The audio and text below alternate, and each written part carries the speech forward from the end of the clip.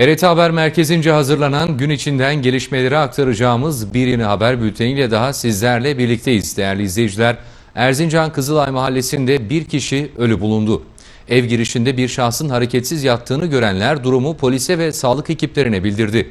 Olay yerine gelen ekipler şahsın öldüğünü tespit etti. Olayla ilgili geniş çaplı soruşturma başlatıldı. Erzincan Kızılay Mahallesi'nde bulunan bir evin girişindeki kanepe üzerinde hareketsiz yatan bir erkek olduğunu gören vatandaşlar durumu sağlık ve polis ekiplerine bildirdi. Olay yerine gelen polis ve 112 acil sağlık ekipleri yaptıkları incelemede kanepede yatan gencin yaşamını yitirdiğini belirledi.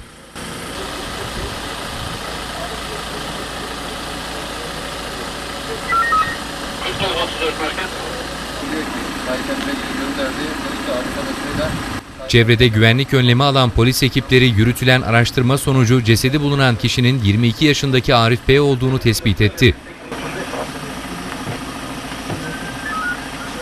Ceset, savcı ve polis incelemesinin ardından kesin ölüm nedeninin belirlenmesi için Mengücek Gazi Eğitim ve Araştırma Hastanesi morguna kaldırıldı. Olayla ilgili geniş çaplı soruşturma başlatıldı.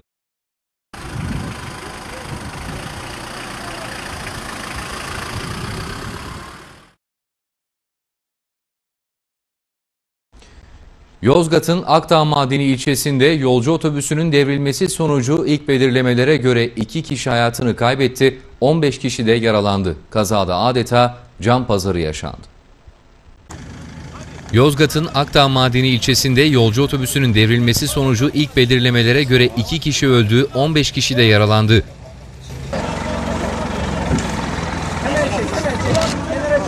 Çek hemen, hemen. Özel bir firmaya ait yolcu otobüsü Yozgat-Sivas Karayolu'nun Akdağ Madeni ilçesi Abdurrahmanlı köyü mevkiinde kontrolden çıkarak şarampole devrildi. Kazada ilk belirlemelere göre 2 kişi öldü, 15 kişi yaralandı. Yaralılar ambulanslarla Sorgun, Akdağ Madeni ve Yozgat'taki hastanelere kaldırıldı. Erzincan'da yeni avukatlar yemin ederek avukatlık ruhsatlarını aldılar. Avukatlar Erzincan Barosu'na katıldılar. Erzincan'da 5 yeni avukat avukatlık ruhsatlarını alarak Erzincan Barosu'na katıldı. Erzincan Barosu'nda yapılan yemin törenine Erzincan Baro Başkanı Adem Aktürk, Baro Yönetim Kurulu üyeleri, genç avukatlar ve aileleri katıldı.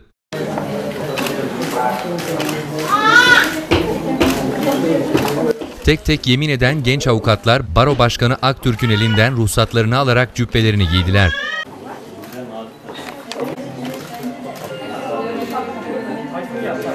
Kanuna, ahlaka, ahlaka, mesleğin onuruna ve kurallarına uygun davranacağıma, mesleğin onuruna ve kurallarına uygun davranacağıma, namusum ve vicdanım üzerine and içerim. namusum ve vicdanım üzerine ant içerim.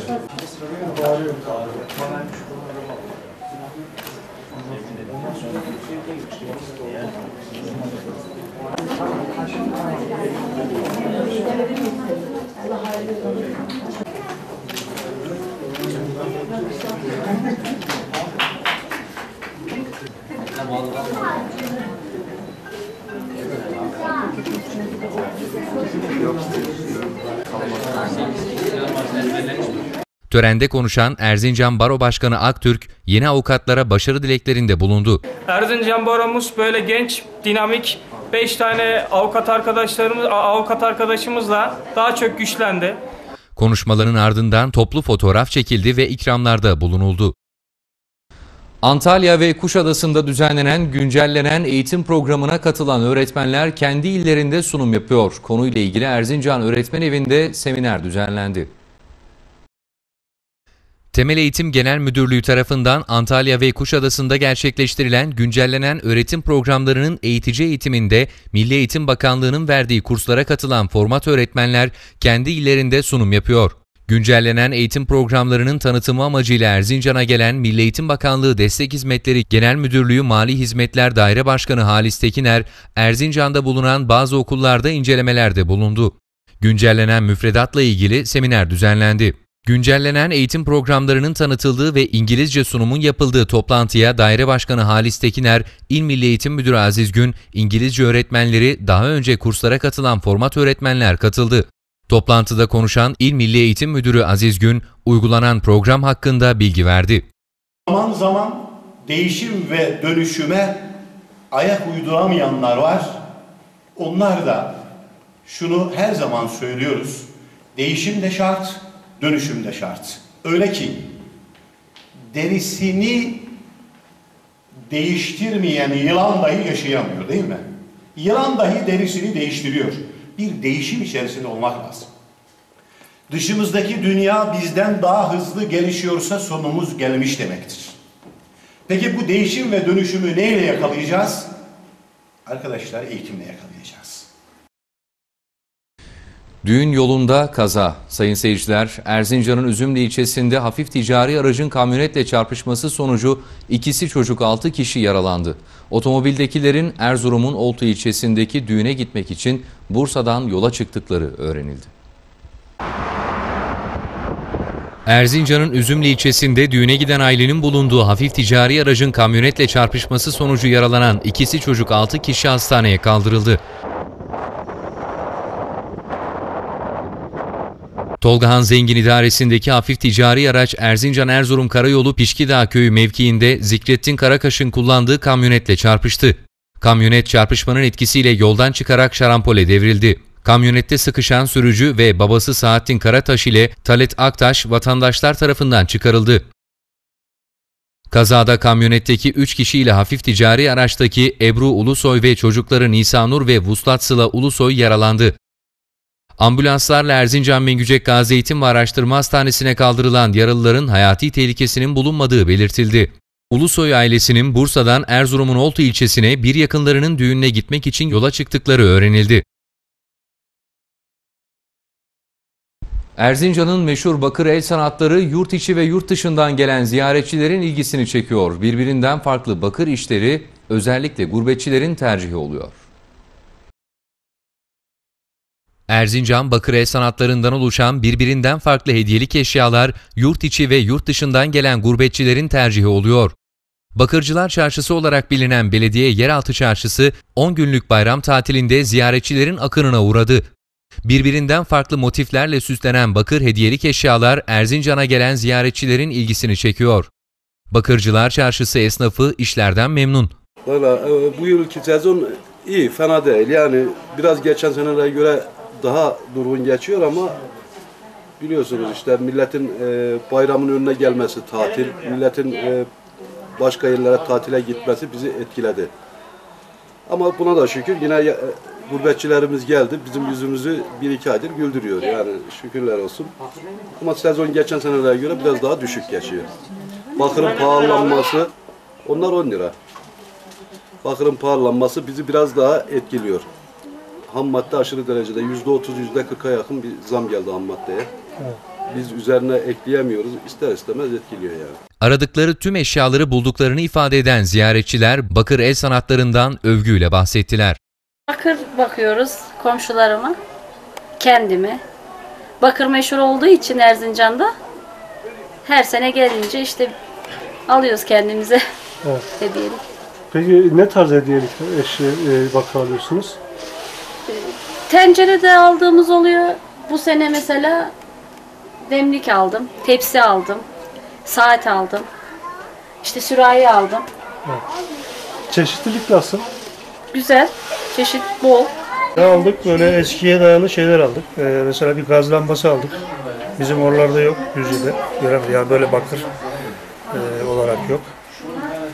Ee, bu kahve işte şekerleme türü servis yapılan şeylerden aldık.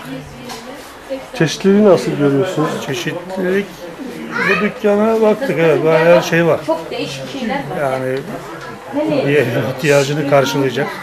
Daha çok böyle süs eşyasını e, evlerde böyle sergileyecek şekilde olanlar var. Ben ilk defa geliyorum. E, güzel. Evet güzel işçilik muazzam yani. Ama pazarlama bölümünü bilemem. Dün geldik biz. Tavsiye üzerine geldik. Daha önce gelen arkadaşlarımız var. Gayet güzel. Fiyatlar da uygun. Yani öyle pahalı değil. Böyle bir e, sanatı yani parayla biçemezsin. Yani.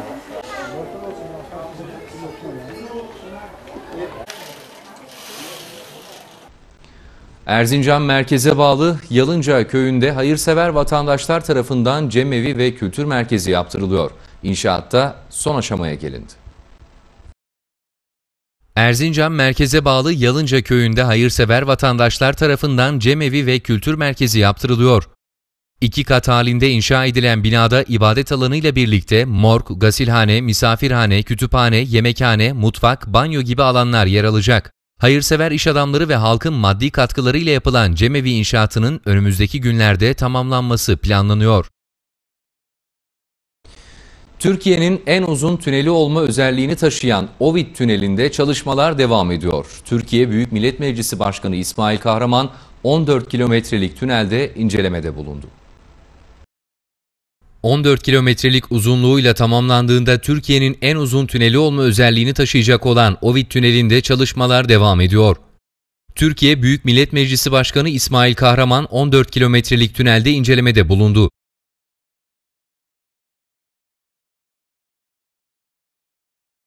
Kahraman'a Rize Valisi Erdoğan Bektaş, AK Parti Rize Milletvekilleri Hasan Karal ve Hikmet Ayar ile Karayolları Bölge Müdürü Selahattin Bayram Çavuş da eşlik etti.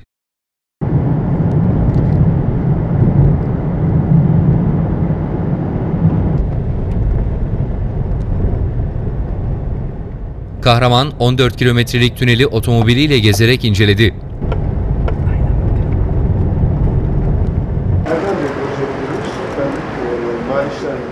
Kahraman, tünelin tamamlanmış kısmında aracından inerek tünel sorumlusu Abdülkadir Kart'tan bilgi aldı. Gel beraber. Olmuş.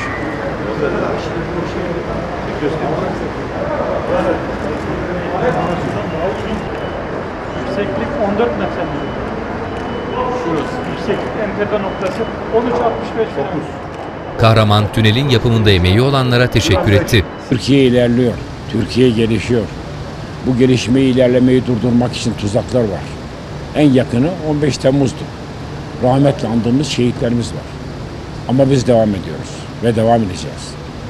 Güzel bir slogandır. Durmak yok, yola devam. Aynı şekilde durmak yok, yola devam.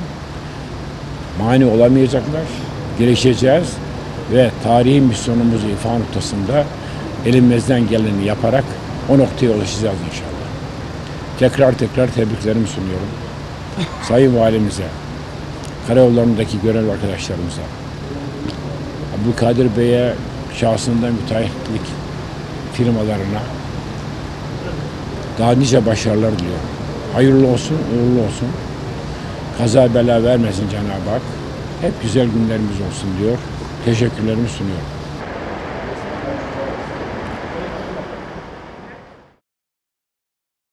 Sırada Bayburt'tan ilginç bir haber var. İstimlakı yapılan tapulu arazisinin parasının ödenmediğini ileri süren kişi karayolunu trafiğe kapattı. Şahıs polis ekipleri tarafından güçlükle ikna edildi ve yol yeniden trafiğe açıldı. Tamam çağır müdürü. Bayburt'ta istimlakı yapılan tapulu arazisinin parasının ödenmediğini ileri süren kişi tomrukları karayoluna bırakıp ulaşımı engelledi. Ya tapuyu getirin diyelim hepsi taşısın. Tapuda var tapu. Gelsin karayolları.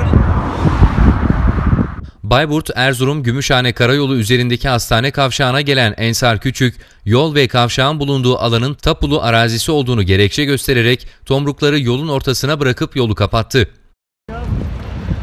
Ya yeter kız.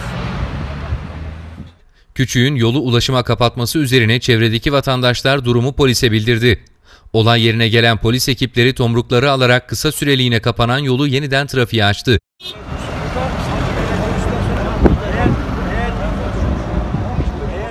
Yolu kapatan küçük polis ekiplerine karayolu ve kavşağın tapulu arazisi olduğunu belirterek karayolları yetkililerinin olay yerine çağrılmasını istedi.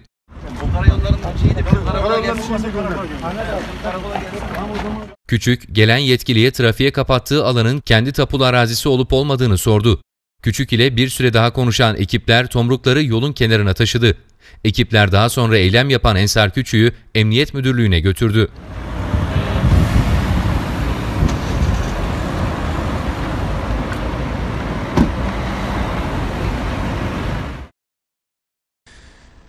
Temizlik işçisi olarak çalışıyordu. Azmi sayesinde fabrika patronu oldu. Sayın seyirciler, Malatya'da tekstil fabrikasında temizlik işçisi olarak çalışan Şehriban Şahin, makinalardaki tüm işlemleri öğrenerek kendi kumaş fabrikasını kurdu. Şimdi bir başarı öyküsünü getiriyoruz ekranlarınıza.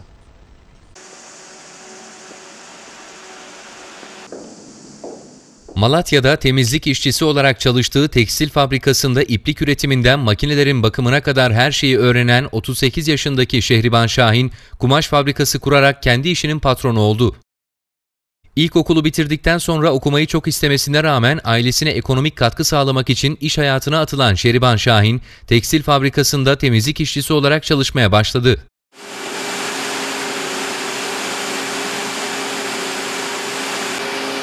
İş yerinde temizlik yapıp personele çay dağıtırken makinelerin nasıl çalıştırılacağını ve bakımını öğrenen Şahin, müdürlüğe kadar yükseldi.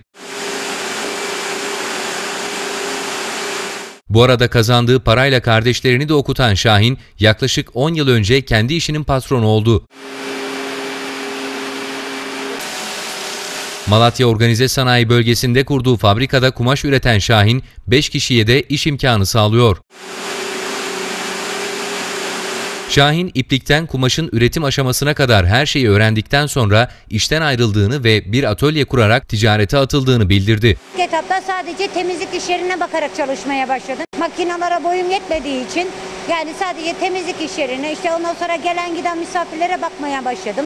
Ondan sonra zaman zarfı içerisinde e, giren çıkan ipliklere işte sevkiyatlara falan bakmaya başladım. Bunlara başladığım süreç içerisinde de madem bu işi yapıyoruz en iyi şekilde yapalım diye gündüzleri çalışıp gece bilgisayar kurslarına gidiyordum. Ee, o dönemlerde de çok yaygın olmadığı için bilgisayar sertifikasını aldıktan sonra patronlarım madem bunu yaptın biz de sana bilgisayar alalım ve işi daha profesyonel ve düzgün yapmaya başladık. Zaman zaafı içerisinde de makinalara meraklı olduğum, sök tak işte çalışma işlerine meraklı olduğum için de makinaları söküp takmaya başladım. 2007 yılına kadar da işi tamamen öğrenmiş oldum. Yani iplikten başlayıp tamamen makinenin en son üretim aşamasına kadar hepsini öğrendikten sonra 2007 yılında kendi işimi kurdum. İlk ufak olarak 3 makineyle işe başladım. Bu zaman zarfı içerisinde çalıştıkça da ilave makineler almaya başladım. 2014 yılında da dayım yanıma geldi. Beraber e, bana destek olarak e, kendimize bu işletmeyi kurduk. 2014 yılından bu yana da beraber çalışıyoruz. Burası 24 saat olan bir işletme. 5 personel çalışıyor. 5 tane makinem var şu anda.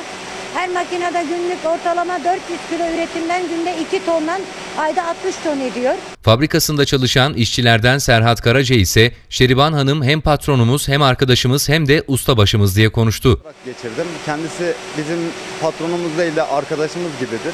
Yani bizimle birlikte oturur yer kalkar. Yapamadığımız arıza olduğu zaman patronu arıyoruz. Patron usta yerine patron zaten gelip bütün işleri görüyor.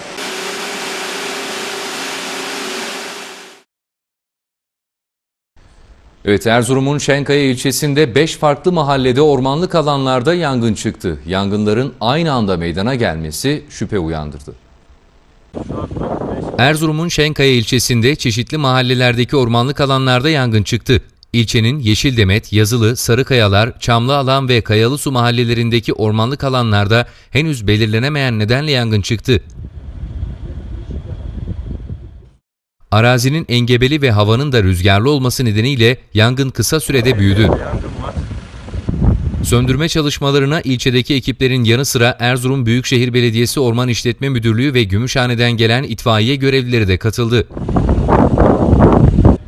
Ekiplerin yangını kontrol altına alma çalışmalarına vatandaşlar da destek verdi. Mahalleler arasında 2 ila 4 kilometre mesafe olmasına rağmen yangınların aynı anda meydana gelmesi şüphe uyandırdı.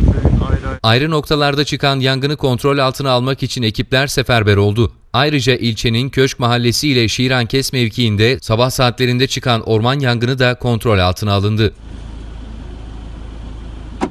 Değerli izleyiciler, Erzincan caddelerinde bulunan ve görüntü kirliliği oluşturan reklam, billboard ve direk afişleri şehirde adeta panayır havası estiriyor. Billboard, raket, led ekran, direk afiş, otobüs giydirme ve otobüs iç ekran reklamlarıyla Erzincan adeta bir reklam şehri haline geldi. Şehirde oluşan görüntü kirliliği tepkilere neden oluyor ve şehir reklam, ilan ve tanıtım yönetmeliğine aykırı olarak reklam yapılıyor. Erzincan'ın caddelerinde bulunan ve görüntü kirliliği oluşturan reklam billboard ve direk afişleri şehirde adeta panayır havası estiriyor.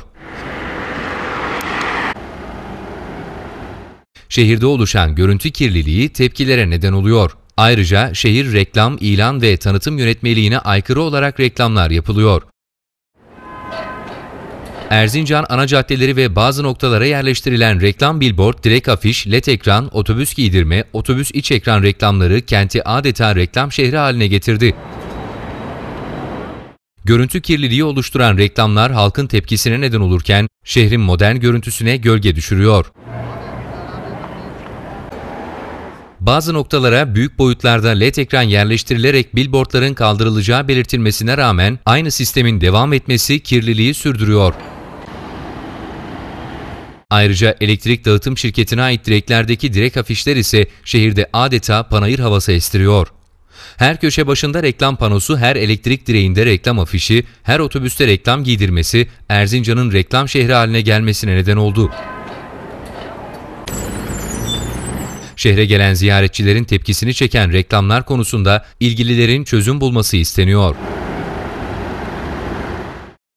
Şehitlerin harp ve vazife malullerinin eğitim ve öğretime devam eden çocuklarına Sosyal Güvenlik Kurumu tarafından yeni öğretim yılında eğitim yardımı yapılacak. Şehitlerin harp ve vazife malullerinin eğitim ve öğretime devam eden çocuklarına Sosyal Güvenlik Kurumu tarafından yeni öğretim yılında eğitim yardımı yapılacak. 2017-2018 öğretim yılında ilk öğretim öğrencileri için 1540 lira 59 kuruş, lise öğrencileri için 2310 lira 89 kuruş, yüksekokul öğrencileri için 3081 lira 18 kuruş eğitim yardımı yapılacak. Ödemeler 27 Eylül 2017 tarihinde yapılacak. Bakanlıktan yapılan açıklamada yardımın her yıl düzenli olarak yapıldığı belirtildi. 2 SS karşı karşıya gelecek sayın seyirciler. Ziraat Türkiye Kupası 3. tur kuralları çekildi ve 24 Erzincan Spor'un rakibi 1. Lig takımlarından Eskişehir Spor oldu. Tek maç eleme usulü yapılacak olan maç Erzincan'da oynanacak. Ziraat Türkiye Kupası 3. tur kuralları bugün çekildi. Süper Lig'den 5, 1. Lig'den 18 ve 2. Lig'den 36 olmak üzere toplam 92 ekibin katıldığı kura çekimleri bugün yapıldı. Kupaya ikinci turdan başlayan ve Bingöl Spor'u penaltılarla eleyen Anagolt 24 Erzincan Spor'un 3. turdaki rakibi 1. Lig takımlarından Eskişehir Spor oldu. Süper Lig tecrübesi olan Eskişehir Spor'un teknik direktörlüğünü Sergen Yalçın yapıyor. Tek maç eleme usulü yapılacak olan maç Erzincan'da oynanacak. Sırada hava durumu var. Erzincan 14.36, Erzurum 9.30, Sivas 9.31, Gümüşhane ve Bayburt 8.30, Giresun 14.22, Elazığ 17.37, Tunceli 13.34, Bingöl 11.33, Malatya 15.35, Yozgat 11.32, Amasya 14.32, Kars 11.32, Van 10.28, Ağrı 12.32 derece. Altın döviz piyasaları. Dolarda alış 3,429, satış 3,430, Euro'da alış 4,079, satış 4,081. 22 ayar altın bilezik alış 132,13, satış 133,47, tam altın 942,92, yarım altın 473,74, çeyrek altın 235,87.